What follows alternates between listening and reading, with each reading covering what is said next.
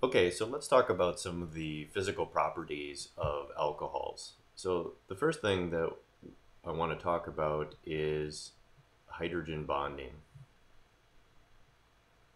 Okay, and to start this discussion, uh, let's remind ourselves about the situation in water, which remember is um, in many ways analogous to uh, alcohols, right? So if we draw a couple of water molecules, maybe here,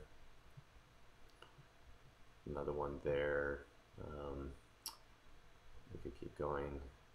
All right, so each each oxygen has two lone pairs and then two two hydrogens, and those are those are hydrogen oxygen bonds, which remember are highly polarized towards the oxygen, which is much more electronegative. So you will probably recall from general chemistry that water uh, can engage in what are known as hydrogen bonds, where the lone pair um, from an oxygen is interacting with uh, those uh, the OH bond of a another water molecule, right? So there's um, an interaction, and uh, it's it's obviously not a full covalent bond, but um, it perhaps is on its way to being a covalent bond. But there's some some um, stabilization that happens from that interaction. So you can have a hydrogen bond um, from oxygen of one molecule to hydrogen of, of another, but then that same oxygen molecule can also hydrogen bond um, itself to yet another water molecule. But in fact, we can do this at uh, basically every position. So every every oxygen can engage in a hydrogen bond, and then every OH bond can engage in a hydrogen bond.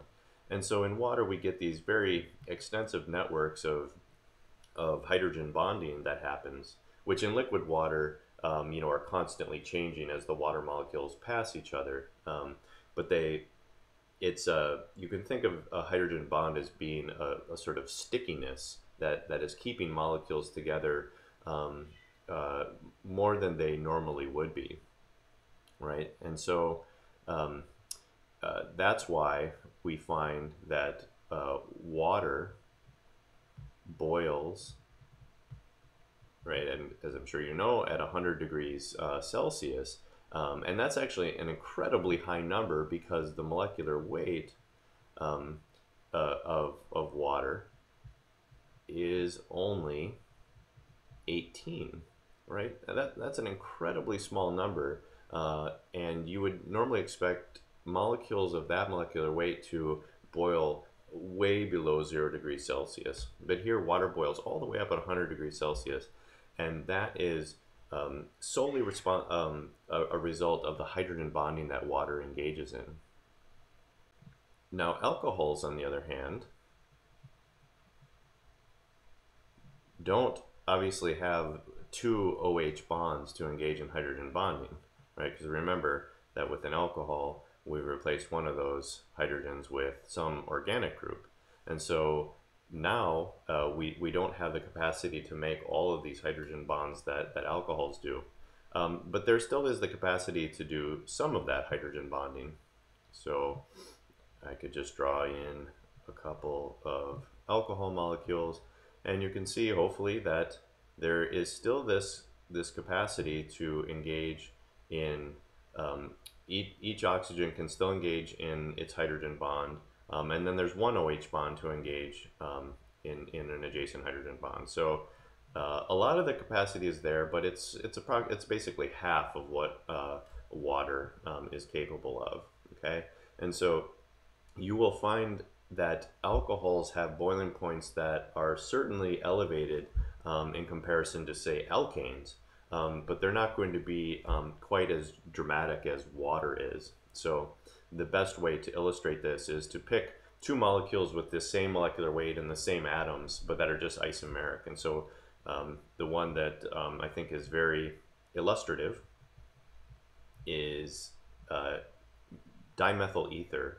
So this has a molecular weight of 46.04, uh, 07 okay, and its boiling point is negative 24, excuse me, negative 24 degrees Celsius. We can compare that to ethanol, right? Which is just isomeric. It has all the same number of atoms, and therefore, uh, of course, its molecular weight is exactly the same, 46.07, and the boiling point of ethanol is 78 degrees Celsius, right? So that's that's a pretty dramatic difference. There's a hundred more than a hundred degree difference between those two, even though they're the exact same weight. Um, the uh, forces that are binding the the um, individual molecules together are much greater in ethanol because of the potential for hydrogen bonding. Um, and I would uh, just point out again that if you compare the uh, molecular weight of ethanol to water, you can see that it's uh, substantially heavier than water, and yet water is the higher, higher boiling uh, compound. So that's sort of the power of those hydrogen bonds.